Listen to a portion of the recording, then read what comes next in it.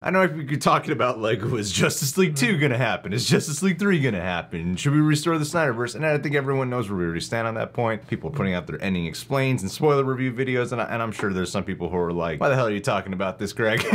but I, I, I do gotta say, like, it's it's really this story. For some reason, of any of the stories that come out this week in particular, Green Lantern was supposed to be in the original ending, a whole bunch of jazz. It's this one that is my favorite.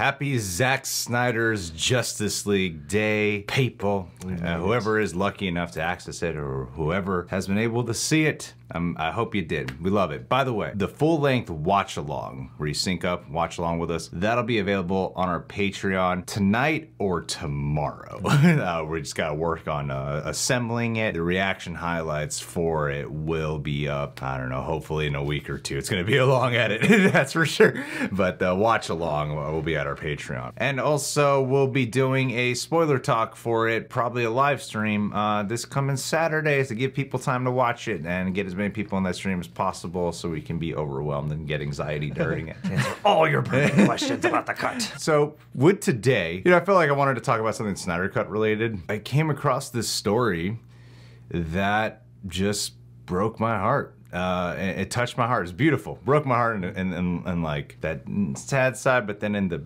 like, oh my god, that is so touching to me. This is so Moved by it.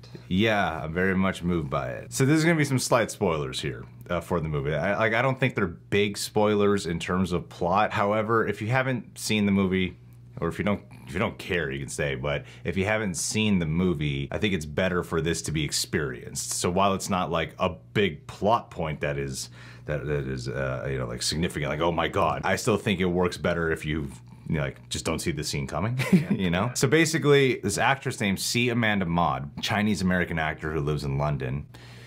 And um, man, this oh boy, this, this, this one really does get to me. So she put out this tweet yesterday saying, Snyder cut. I was cut from the Whedon version. Can someone please let me know if I'm in this version? Trying to figure out how to view it, but please let me know if I made this cut on the single mom waitress in Cyborg's backstory. Now, I put out this uh, Twitter, this tweet. I don't know why I'm like so fucking emotional over this shit. so I put out, this.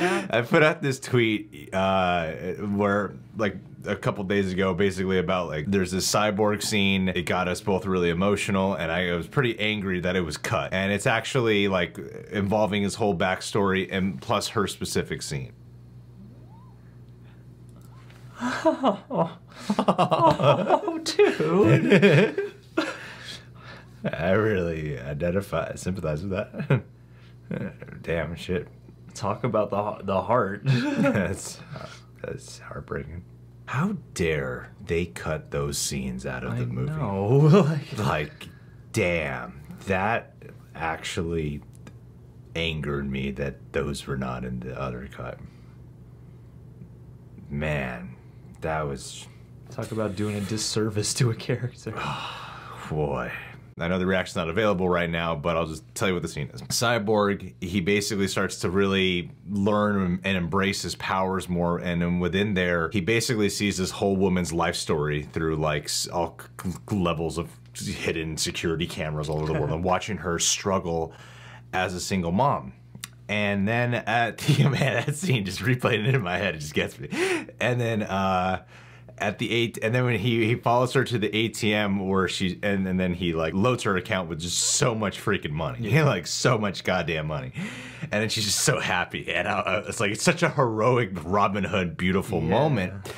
And I'm like, damn, she didn't get to see that shit. And that's that was one of my favorite Yeah. scenes in that whole four hour movie. It, it, it is one of my favorite scenes. And uh, it it like it just breaks my heart. Like that scene breaks my heart. And then to know like, oh man, she didn't get to experience that. And then just to see like it's got like 890 retweets, um, a shit ton of comments, and just like so many people just came in to just be like, hey, you're awesome. You're the best. You're one of the best parts of this movie. And like she's this Asian American actress, and I don't know, especially with like the way the scene is, my parents were never divorced, but my mom was the breadwinner in the family. She was often like the only one working, and she's Asian, so there's just something about that that I've really felt connected to. yeah. Especially with like struggling with money growing up. And then to see her like follow up tweet where she said, Nothing like this has ever happened to me before. Thank you everyone for all the kind words and support. Thank you to everyone that made the Snyder Cut possible. And I'm like, see, this is why this, this like, I know if you're talking about like was Justice League 2 mm-hmm. gonna happen? Is Justice League 3 gonna happen? Should we restore the Snyderverse? And I think everyone knows where we already stand on that point. People are putting out their ending explains and spoiler review videos, and, I, and I'm sure there's some people who are like, why the hell are you talking about this, Greg? but I, I, I do gotta say, like, it- it's it, it's really this story for some reason. Of any of the stories that come out this week in particular, Green Lantern was supposed to be in the original ending, a whole bunch of jazz. It's this one that is my favorite so far. Oh, yeah. Absolutely, because this represents the best of what, you know, this whole fan interaction with the big machine can offer you is like really people can be vindicated and see their work done justice to, you know, not to pull a pun there. But yeah, I mean, you know, between the charity work that this movie has helped drum up, the awareness for suicide prevention and whatnot, and then things like this that are so personal for someone to be validated this way and to be embraced by a ton of strangers, you know, and to, I uh, bet to be given all that news in such a deluge has to be one of the most unique moments in anyone's life. And so, yeah, it's it's interesting to see. I mean, not you know to say that this woman's life is exactly like the character she played in the movie or anything, but yeah, I mean that is one of the things that really shows why that cut stands above the other one. It's a moment they didn't have to put in at all. I feel like other movies did obviously wouldn't have cared to include and yeah it's things like that that exemplify i think the best all around of what this experience has offered us you know with like Cyborg's backstory in that scene too, it's just it's such a power like a big part of what upset me about eh, all this being cut out. Especially with Cyborg's backstory is with Cyborg, he's got such a tragic turn of events from going from Victor Stone into Cyborg. And he just kind of hates himself and is ashamed. And it's this moment here where he starts to realize the good he can actually do. Mm-hmm. And like the possibilities. She was gypped. Ray Fisher certainly was like to command. They they act so much beautiful work that that man did. I loved everything they did with Cyborg here in the Zack Snyder's Justice League.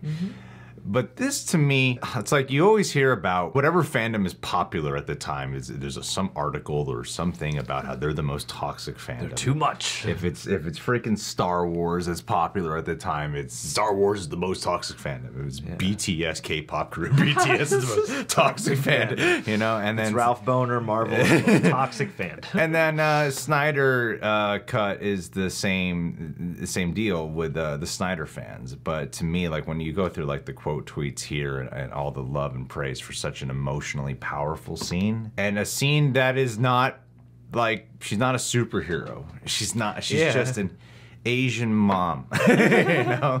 Yeah. and Yeah. it's still so powerful that whole sequence. I wanted to make sure that even if you haven't heard the story, that you know share share the story around because this is this is one of the best things to come out of this whole movement, in my opinion. I hope Zack Snyder becomes aware of this too. yeah absolutely All right, guys. Well, Zack Snyder's Justice League. Keep check us out uh, Patreon for the full length. Subscribe to YouTube and click that notification bell. Hit that like button. We'll do a spoiler review this weekend too. See you guys.